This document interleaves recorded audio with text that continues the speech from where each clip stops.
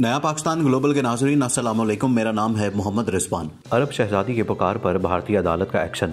मोदी सरकार हिल के रह गई। मोदी और अमित शाह बड़ी मुश्किल में फंस गई। भारतीय सुप्रीम कोर्ट का फैसला, मोदी और अमित शाह अपने अंजाम की तरफ़ गामजन। दोनों से हिसाब लेने का वक्त आ गया। मुसलमानों का खून रंग ले आया। भारतीय अदालत बीजेपी के लिए वबाल जान बन गई। दिल्ली फसादात में कौन सी आला शख्सियात मुलविस निकली? तहलका केस इंकशाफ। आर्टिकल 370 और मतनाज़ शहरीत एक्ट का बदला लेना महँगा पड़ गया। मोदी सरकार अकवा मुतहदा आलमी कवानीन और भारतीय आइन की खिलाफ वर्जियों के मरतकब महीनों की मेहनत रंग ले आई। वीडियो में बताएँगे कि कैसे अरब शहजादी हिंदल कासमी की वजह से मोदी और शाह जेल के सलाखों के पीछे होंगे। वीडियो में मजीद आगे बढ़ने से पहले तमाम नए आने वाले दोस्तों से गुजारिश है कि हमारे चैनल को सब्सक्राइब कर लें, वीडियो को फेसबुक और व्हाट्सएप पर शेयर भी कर लें।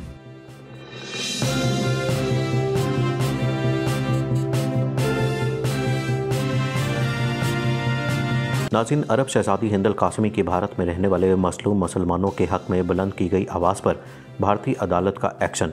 मोदी और अमित शाह को जेल में डालने की तैयारियाँ शुरू, मुसलमानों का खून रंग ले आया। भारतीय सुप्रीम कोर्ट के एक्शन ने मोदी सरकार को हिला के रख दिया। बीजेपी भी शदीद परेशान। मोदी और अमित शाह से हिसाब का वक्त आ गया। आर्टिकल 370 मतनाज़ शहरीत एक्ट मोदी सरकार के वो स्या कारनामे हैं, जो इंतहा पसंद मोदी और बीजेपी सदर अमित शाह का पीछा छोड़ने का नाम ही नहीं लेते। मतनाज़ शहरीत बिल के रिएक्शन में भारतीय दारकूमत दिल्ली में अमरीकी सदर डोनाल्ड ट्रंप के गुजशत दौरे भारत के दौरान एक ऐसा वाक़ पेश आया जिसने उन्नीस सौ चौरासी के सिख कुछ फसादात की याद ताज़ा कर दी और भारतीय दारकूमत में मुसलमानों के खून से होली खेली गई। इन वाक़ात में भारतीय वजे अजम मोदी और वजी दाखिला अमित शाह के बरह रास्त मुलविस होने का इल्ज़ाम लगाया गया। क्योंकि भारतीय वजे अजम जब गुजरात में वज़र अला थे तो 2002 में अपनी रियासत में मनज़म तरीके से हुकूमत की पुष्टपनाई में ऐसे फसादात करवा चुके हैं, जिसकी वजह से इन पर अमरीका और यूरोप के कई ममालिक में दाखिले पर पाबंदी थी। नॉर्थ ईस्ट दिल्ली में हुए फसादात से मुतल मालूम तक रसाई हर फर्द का बुनियादी हक है, जिसके लिए अकवा मुतहदा से लेकर भारत में मौजूद तमाम छोटी बड़ी ह्यूमन राइट्स की तंजीमों ने कोशिश की है। ताकि इन फसादात के असल मुजरमों को कटहरे में लाया जा सके। हुकूमत Hind right to information act 2005 इस बात की इजाज़त देता है।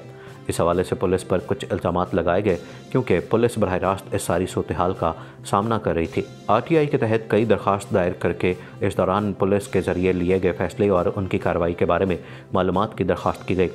फरवरी में सोशल मीडिया पर एक वीडियो वायरल हुआ, जिसमें शदीद तौर पर ज़ख्मी पाँच लोगों को कई पुलिस वाले बेरहमी से पीट रहे थे और उन पर भारत का कौमी तराना गाने का दबाव डाल रहे थे। उस वीडियो को नॉर्थ ईस्ट दिल्ली के करतमपुरी में चौबीस फरवरी को शूट किया गया था, जब वफाकी दारकूमत का यह हिस्सा हिंदू मुस्लिम फसादात में जल रहा था। दो दिन बाद उनमें से एक तेईस साल फैज़ान की हॉस्पिटल में मौत हो गई। ये वाहिद ऐसा केस नहीं था। तीन दिन तक चले इस फसाद में दिल्ली पुलिस पर बरबरीत के कई इल्ज़ाम लगे हैं। इस दौरान कम से कम बावन लोगों की मौत हुई और 200 से ज़्यादा लोग ज़ख्मी हुए। कई लोगों की जायदादें बर्बाद की गईं और बड़ी तादाद में लोगों को अपने ही शहर में पनाह गुजीन बनना पड़ा। नाजिन, इन फसादात में न सिर्फ़ मुसलमानों, बल्कि एक पुलिस एहलकार और कुछ हिंदुओं की भी मौत हुई, लेकिन ज़्यादातर मुसलमान ही मुतासर हुए। मकामी लोगों और उन जगहों का दौरा करने वाले सहाफ़ियों समाजी कारकुनों और दूसरे माहरीन का इल्ज़ाम है कि अगर बर वक्त पुलिस ने फौरी कार्रवाई की होती तो इस फसाद को रोका जा सकता था। पुलिस पर उठे मुख्तलिफ़ सवालों की तस्दीक करने के लिए आर टी आई दरख्वास्त दायर करके फसादात के दौरान पुलिस के ज़रिए लिए गए फैसले और उनकी कार्रवाई के बारे में जानकारी मांगी थी। लेकिन पुलिस ने आर टी आई एक्ट की इतला देने से छूट से मुतलक दफात का गैर कानूनी इस्तेमाल करते हुए और इससे लोगों की जान खतरे में होने का हवाला देकर दिल्ली फसादात से मुतल कई अहम फैसलों का इंकशाफ करने से इनकार कर दिया है, जिससे मालूम में इजाफा होता है कि इसमें कुछ अला शख्सियात का हाथ है, क्योंकि ऐसा करना पुलिस के बस की बात नहीं थी, जिसके बारे में आगे चलकर आपको बताते हैं कि कौन लोग इसमें मुलविस थे और उनके साथ क्या होने वाला है। इसके अलावा पुलिस ने आर टी आई एक्ट के तहत मुतन तीस दिन और ज़िंदगी और मौत के मामले में अड़तालीस घंटे के अंदर जवाब देने की मदद की भी खिलाफ वर्जी की और तकरीबन साठ दिन में ये गैर मुतलक जवाब भेजा है।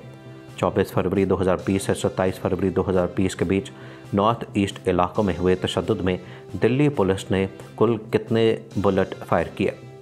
तशद मुतासर इलाकों की हल्कावार जानकारी दी जाए। नॉर्थ ईस्ट इलाकों में हुए तशद में दिल्ली पुलिस ने कुल कितने आँसू, गैस, रबर बुलेट और वाटर कैनन का इस्तेमाल किया? तशद मुतासर इलाकों की हल्का हल्कावारी जानकारी दी जाए। नॉर्थ ईस्ट इलाकों में हुए तशद में दिल्ली पुलिस के कुल कितने जवानों की तैनाती की गई। तशद मुतासर इलाकों की हल्कावार और दिनों के लिहाज से जानकारी दी जाए। इस दौरान तशद से मुतलिक कुल कितने कॉल नॉर्थ ईस्ट दिल्ली के किन किन इलाकों से है, उन कॉल्स पर दिल्ली पुलिस ने क्या कार्रवाई की? दिल्ली फसादात के सभी मुलजमान के नाम एफ़ आई आर नंबर, थाने के नाम के साथ दर्ज करने की तारीख की जानकारी दी जाए। इसके अलावा इस तशद में मारे गए और ज़ख्मी हुए तमाम अफराद के नाम, पते, उम्र की जानकारी मांगी गई थी। दिवाई ने ज़ख्मी हुए सभी पुलिस अहलकारों के नाम, उनका अहदा और ज़ख्म की नौीयत से मतलब जानकारी मांगी थी।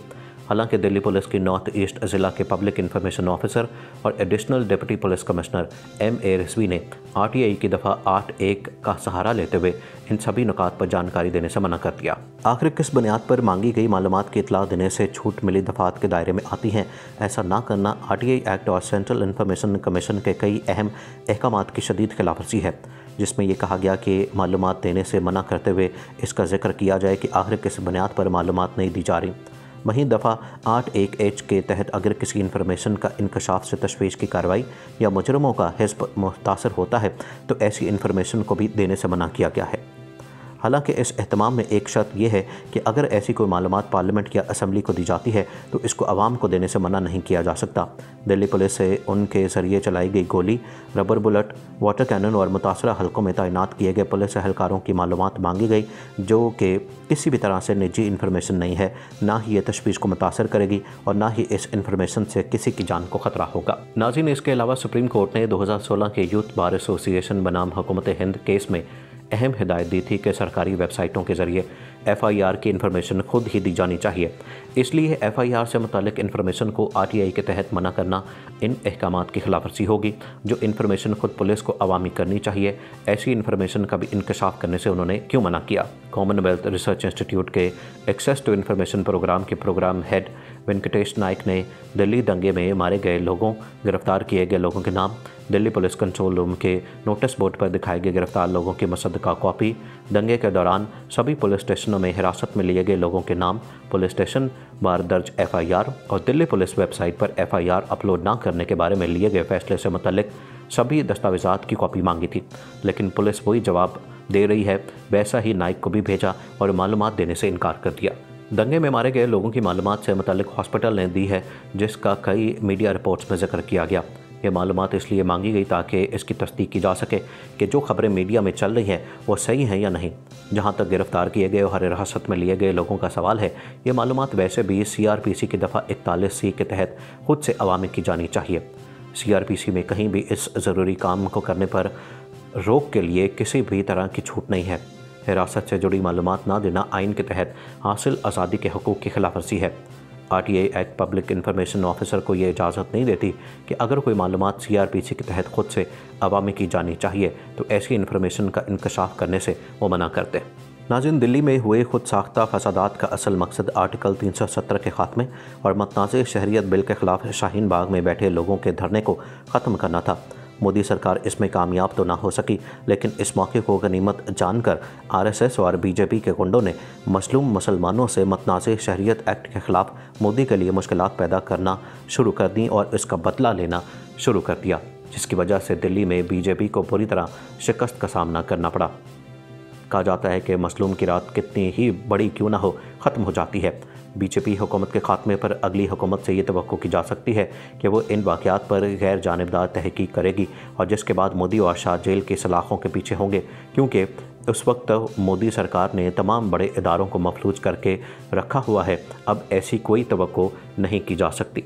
मोदी पर अब भी जंगी जुनून सवार है और इसी वजह से मुसलमानों को भारत में नफ़रत का निशाना बनाया जाता है, जिसके लिए भारतीय सरकार अपनी सरपरस्ती में मुसलमानों की नस्ल कुशी करती है और हर वो इकदाम करती है जिसकी वजह से मुसलमानों को तकलीफ़ दी जा सके। यही वजह है कि तबलीगी जमात के एक अमीर बरए जौनपुर के कल पर हमले की वजह से ज़िला अस्पताल में मौत वाक़ हो गई। मुबैना तौर पर गैर मुल्कियों को पनाह देने के इल्ज़ाम में अप्रैल के पहले हफ़्ते में गिरफ्तारी के बाद आरसी जेल में कैद पैंसठ साल नसीम अहमद, जिसको कल्ब का मरज़ लाक था। चारशंबा की रात में हालत ख़राब होने के बाद उन्हें हस्पताल मुंतकिल किया गया। डिविजनल कमिश्नर दीपक अग्रवाल ने कहा कि नसीम अहमद, जिसके खिलाफ तबलीगी जमात के इज्तम में शिरकत के लिए आने वालों को इंतज़ामिया को जानकारी दिए बगैर पनाह देने के मामले में मुकदमा दर्ज किया था, जिसमें चौदह बांग्लादेश भी शामिल थे। को कल्ब का मर्ज लाक था और पिछले नौ दिनों में दो मरतबा उन्हें अस्पताल में दाखिल करना पड़ा। दिल का बंद हो जाना मौत की वजह समझा जा रहा है। जौनपुर पुलिस ने उनकी लाश को पोस्टमार्टम के लिए रवाना कर दिया है। अहदेदारों के मुताबिक जौनपुर में फ़िरोज़पुर के एक साकिन अहमद निज़ामुद्दीन मरकज़ में मार्च के दौरान हुए तबलीगी इज्तम में शिरकत के बाद दिल्ली से वापस लौटे थे। इज्तम के बाद सोलह जमाती का एक ब्याज, जिसमें चौदह बांग्लादेशी भी शामिल थे, जौनपुर पहुँचा था। मस्कूरा सोलह जमाती शहर के बड़ी मस्जिद में मुकीम थे, मगर जब पुलिस ने जमाती लोगों की तलाश में शदत पैदा की, तब सराय ख्वाजा पुलिस स्टेशन इलाके में लाल मस्जिद के करीब अहमद ने उन्हें मुंतकिल कर दिया।